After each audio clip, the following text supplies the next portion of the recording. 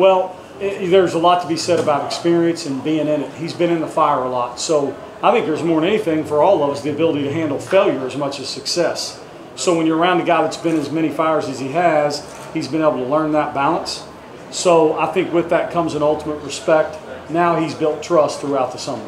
I think that's the difference for him. He's built respect by being here. Trust is earned. He's earned that right.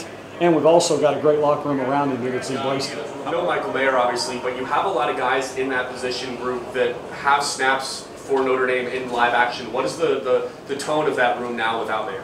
Well, you could. I, I never want to be a coach or a guy that would say, like, we want people's absence to be felt.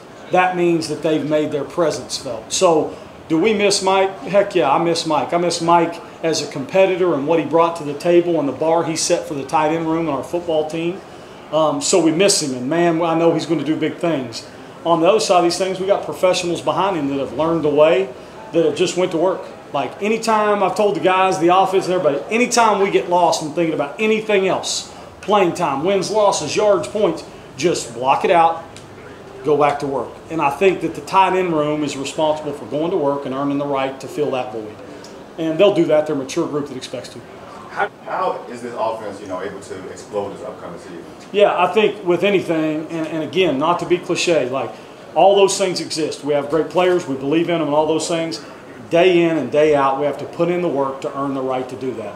Then the results will take care of themselves. Like I, we will say over and over, you guys will think I'm just saying it, it's facts. The truth lies in the work. The results will take care of itself.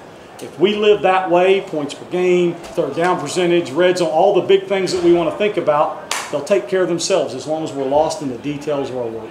How has your relationship with Joe Rudolph kind of grown over the last couple months? Well, it's grown with each and everybody on the offensive staff, even with Stuck and D, because the roles are different, right? You're with your peers, and then you're we, we thrust into this coordinating role, and so that relationship remains and builds the same because I have the ultimate respect for them and, and your question to Joe Rudolph, like his his resume speaks for itself, as our entire staff.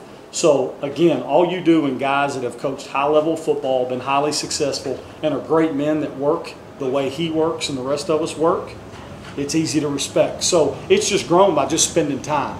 He's great in the run game, great in his protection details. The guys love him and he works. Easy to build a relationship like that.